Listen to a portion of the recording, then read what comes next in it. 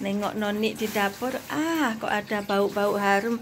Kayaknya Noni pun akan tersayang. Ini lagi masak lagi pinter masak dia.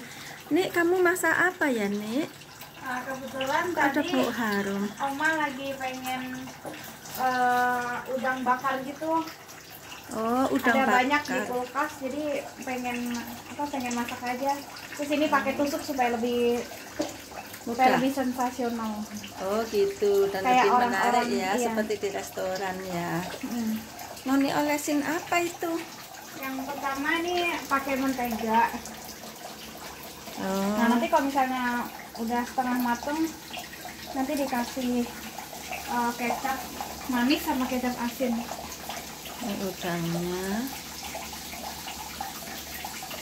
Ini udah kloter kedua tadi, yang kloter pertama udah langsung habis disantap.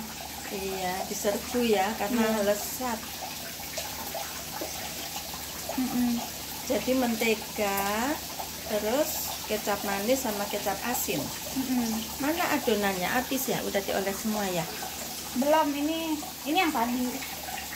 oh baru akan dituang Ya, bunyinya itu ya apa bunyi bunyi apa sizzling. Ya, kayak masak steak. Oh kayak masak steak bunyinya apa namanya Sizzling. sizzling bunyinya harus gitu ya seperti di chef chef di restoran itu Mm-mm. Oh ini lagi diolesin pakai mentega pantas enak karena pakai mentega Ya, jadi minyak ini ya Lebih gurih.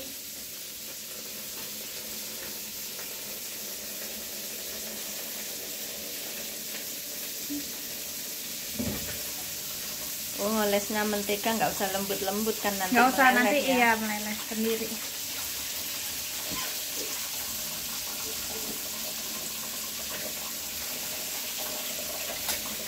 Nah kalau ini aku pakai ini penjepit. pakai penjepit ya untuk balik-balik Mm-mm. Ini ratain dulu. sudah mulai warnanya pink ya Mm-mm. Nah ini bisa mulai dibalik. oh, udah dibalik Kan tadi lumayan Karena- lama. Iya, Udah habis. supaya nggak terlalu garing ya Ya, tapi nanti eh, pas tengah mateng gini nanti dioles pakai kecap yang tadi itu oh iya kecap apa kecap manis sama kecap asin. campur ya Mm-mm. ini resep masak udang bakar ala bunga Ini udangnya yang udang gede. Biasanya orang ngomongnya udang windu. iya atau udang sito ya Hmm. Di Jawa udang windu ya Mm-mm. kalau di Makassar taunya udang sito nggak kenal udang windu Hmm.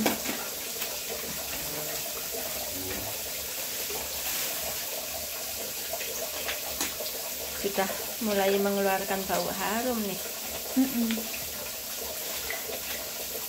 Bisa kita yang tadi. iya koreti ya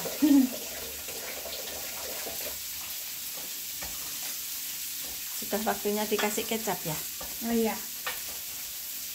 Nah ini feelnya beda. Taruh sini. apinya besar atau kecil Oh ini besar. besar oh apinya kayak gitu ya besarnya tuh ya Mm-mm. seperti masak steak apinya juga besar ya Mm-mm. dan harus berasap kalau steak kalau ini Kalau ini enggak sih. nggak sampai Mm-mm. walaupun besar tapi nggak perlu sampai berasap Mm-mm.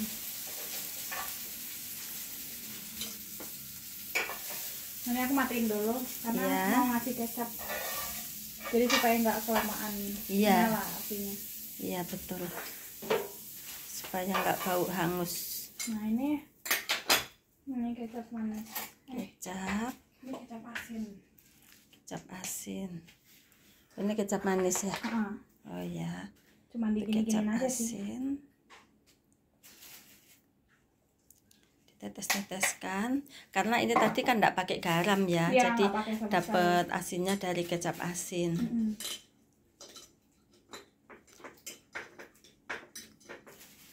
Sekarang kecap manisnya.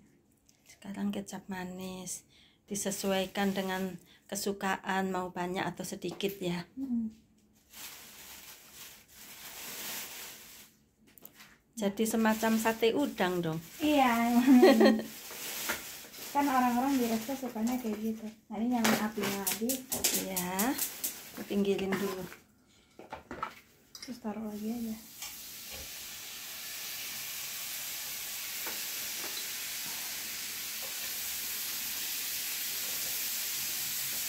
Nah kalau misalnya ada sisa-sisa kecapnya yang kayak begini, Ya, nanti buat yang terakhir eh, nanti kalau misalnya ini udah mateng nanti di apa Dituangkan. dituangin lagi oh iya tapi kalau udah ini ya udah apa beberapa lama ya Mm-mm. sudah meresap gitu. iya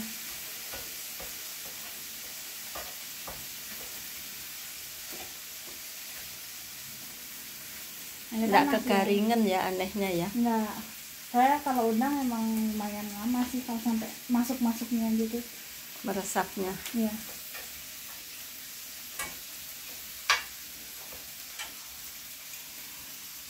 Nah, ini nggak bisa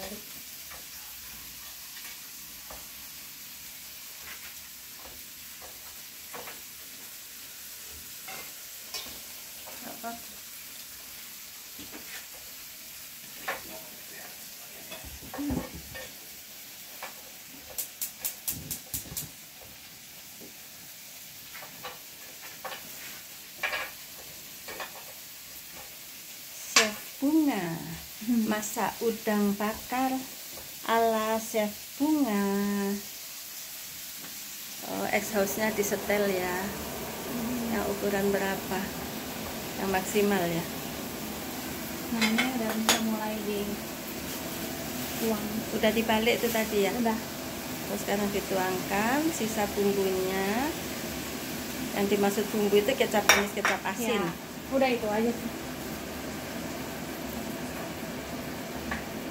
Nanti kan bakal udangnya bakal apa? Ngambil kecapnya buat diresep gitu. iya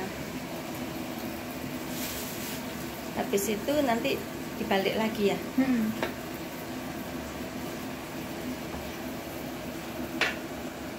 enak nih bisa dimakan pakai nasi juga bisa digado ya Ya, tanpa nasi. untuk camilan Hmm.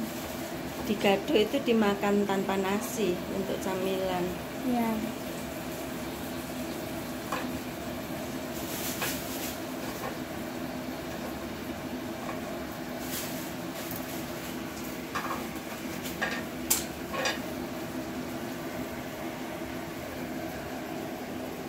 apinya sama ya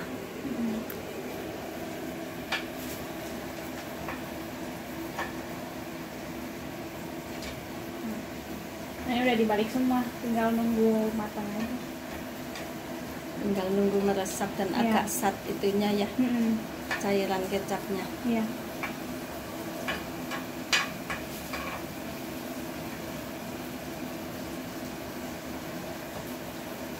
Nggak pakai garam supaya eh, rasa udangnya sendiri tuh kerasa gitu. oh iya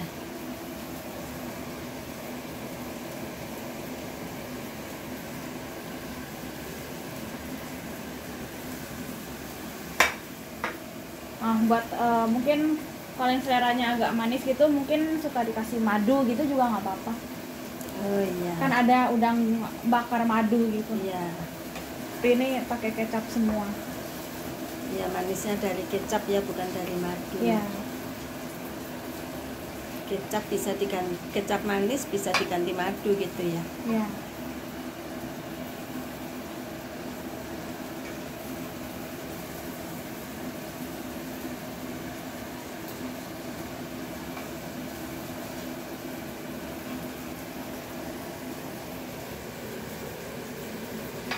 Ini dibalik-balik-balik aja gitu sih supaya kecapnya tuh makin meresap gitu.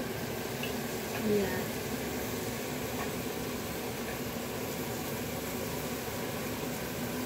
baunya lezat sekali ini.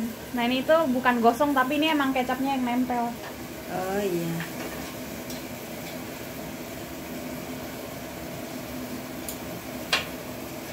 Nah, kalau udah kayak gini, dimatiin aja kompornya. Terus nunggu aja sampai dia berhenti sizzling. sampai sislingnya berhenti ya Iya.